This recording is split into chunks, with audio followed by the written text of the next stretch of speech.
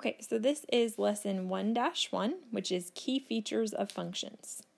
Our essential question for this lesson is How do graphs and equations reveal information about a relationship between two quantities? So, the first example gets into domain and range. We're going to talk about two different ways we can write domain and range.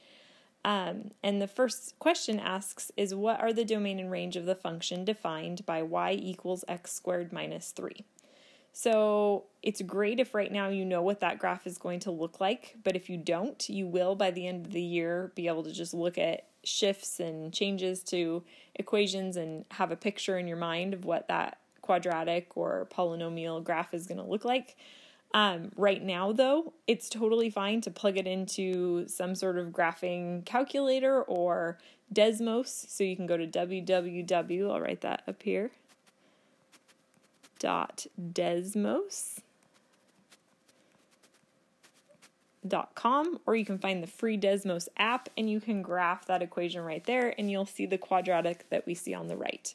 So it's okay to graph stuff so you can see what it looks like. So this whole first lesson is about key features of graphs. So, not actually making the graphs, but being able to read them. Okay, so we have our picture over here and it says the domain and range.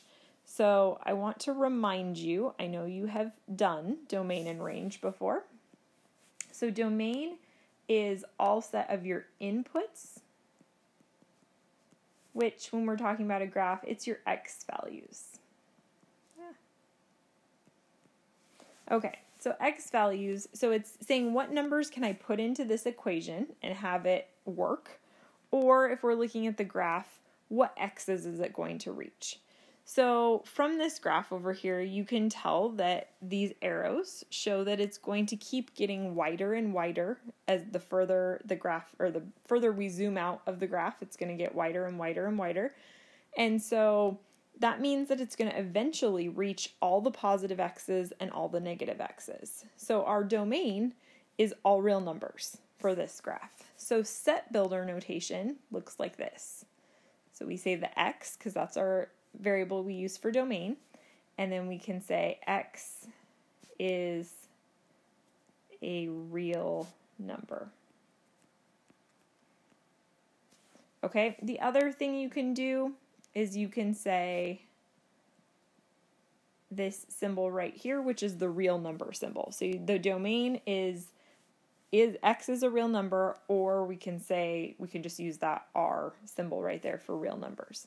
So this is set builder notation. Okay. And then the other notation that we're going to talk about is interval notation. You're going to use interval notation. I use interval notation way more than set builder, but it's important to understand there are multiple ways of representing this. So, interval notation is just listing the lowest and highest interval that x can be. So, interval notation for your domain would be negative infinity to positive infinity. And so, what we need to understand is that we use curved brackets or parentheses when it can't be the number, and we use square brackets when it can be. So, we use always are going to use curved brackets with infinity and negative infinity because we can't reach infinity. It's not a number. So this tells us that x can be any number, all the way from negative infinity to positive infinity. Okay, so that's domain. Now we're going to talk about range. So range is all sets of our outputs or our y values. So when you're looking at the graph now, you're thinking about up and down. So does the graph go up forever? Again, our arrows are going to they're both pointing up. So yes, it's going to hit all of our positive y values. But is it going to go down forever? And the answer would be no because we see we have this right here, which is the vertex of the quadratic, which we'll talk about um, a little bit in future lessons. It's also referred to in this particular graph as the minimum. So because we have a minimum, that means that there's a low number that it can't go below. So in this case, it's negative 3. Our graph cannot go below negative 3. So if we're writing this in set builder notation, this time it's y because we're talking about the range.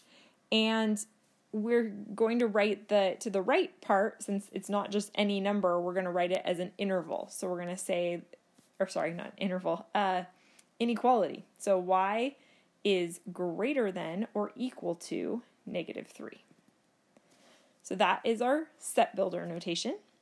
Our interval notation we talk we always write it from our lowest value to our highest value. So our lowest value on this graph is negative 3 so, and it can be negative 3. So the minimum is located at negative 3. So we're going to use a square bracket, negative 3. And then it goes to infinity because those arrows point up forever. So we write infinity with a curved bracket. So these are, this is set builder notation and interval notation for both domain and range of this graph. Okay, so our second example or third ex- we're kind of skipping some examples. So is to identify positive and negative intervals. So when we're talking about intervals we are going to just describe the x values.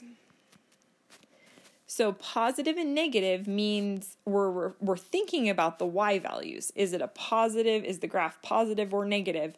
But when we write it we're just writing the x values Okay, so I am going to, let's, we think green usually represents positive and red usually represents negative, so we'll do that on our graph. So if I'm following along my parabola here, so this is x squared minus 9. Again, you can type it into Desmos or into a graphing calculator to see what it's going to look like.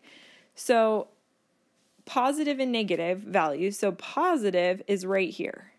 So my graph is positive here and here. So those two parts of my graph are positive, and then I'm going to use red to show negative, and this part in here is where it's negative. So where it's dipping down below the x-axis, that's my negative part. When it's above, that's my positive part. Okay, so let's go back to normal here. Okay, so for what intervals is it positive?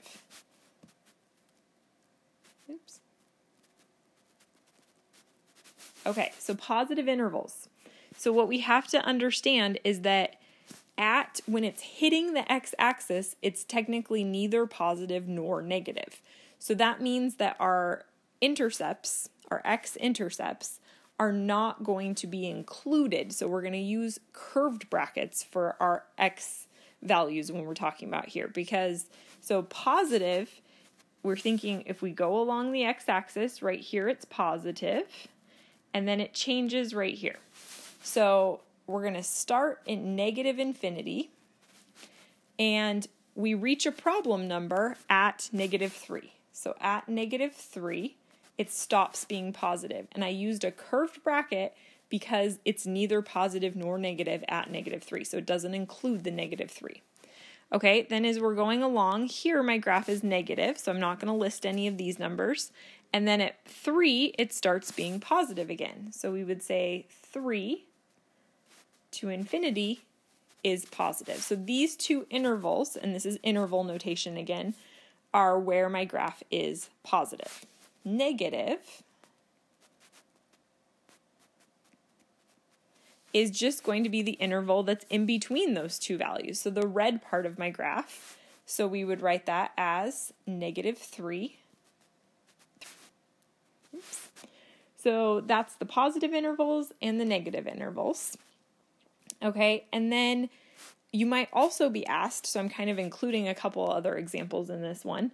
You might also be asked to find um, intervals of of increasing and decreasing. So let's start with decreasing.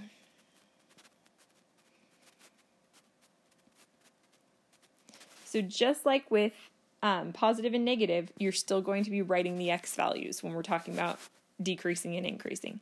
So decreasing is just where is my graph going down? So if we start at negative infinity, it's decreasing. You can see here it's decreasing, decreasing, decreasing all the way till I get to this point right here.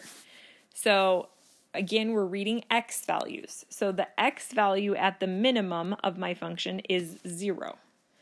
So it's decreasing from negative infinity to zero. and then it's increasing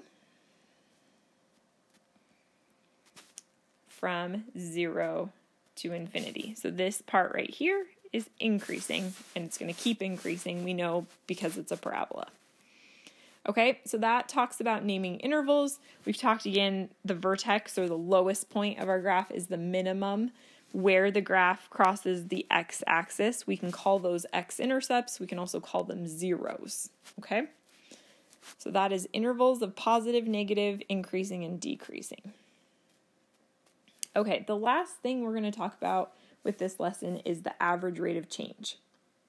So, the average rate of change um, there is a formula that you can write down. So if we are trying to find the average rate of change between point A and point B on this little graph over here, it would be f of B minus f of A over B minus A. So you can memorize that if you want. You don't really have to. So basically, average rate of change is a fancy way of asking what is the slope between those two points. So, especially if you have a graph, you can just find okay, how much did we rise over how much did we run? Okay, so it's just the slope. So, right here, slope.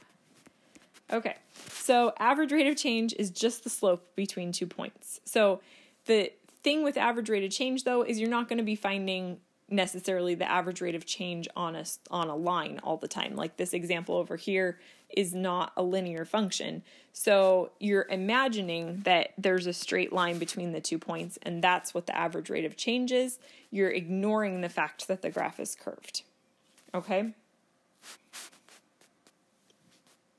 Okay, so this example says, what do the average rate of change of the function y equals absolute value of x plus 2 over the following intervals indicate about the function? Okay, so again, at this point, I don't expect that you, in your mind, know what this graph looks like. So it's okay to graph it in Desmos. Um, but so absolute value sketch. Okay, so there's my absolute value graph. So again, I could plug these into formulas or I could just find these location, these points located on my graph, which is going to make my life easier. So negative over the interval negative 2 to 0. So at negative 2, we're right here. 0, we're right here. So we can see the slope so the slope between, so again, these are all x values that are listed here. So negative 2 is x, 0 is an x. So this is my point at negative 2. So it's the point negative 2, 1, 2, 3, 4. And then 0, 2. So that's those are my first two points that I'm looking at. So the average rate of change between those, you can see the slope is going down 1 over 1. So the average rate of change is negative 1 the average rate of change between 0 and 3. So we already have our 0 point right here. And then at 1, 2, 3, I'm going to erase a little bit here. My graph was not perfect, so. Okay. That's better. Okay, so at 3 right here, the point 3, 1, 2, 3, 1, 2, 3, 4, 5, 1, 2, Okay, so the we can see that we're going up, up 3 over 3. So that means it's a slope of positive 1, or up, we can say up 3 over 3, which equals 1. Okay, and last we have negative 2 to 3. So that means we're going to focus on that starting point and the ending point and find the slope. So between those two points, it looks like we're going up one. So we're basically doing that slope right there. So up one over five. So what does that indicate about this function? So what it's what it wants you to think of from this is the fact that since we have different slopes between all of these points, this is not linear. So if you had done all of those average rates of change and found that they were all the same number, that would mean that uh, simplified, if you simplified all of the average average rates of change and they were all the same, that would mean you'd have a linear function. But since they're all three different numbers, it means it's not linear, and we already know that because it's absolute value. Okay, so that is lesson 1 1. Let me know if you have any questions.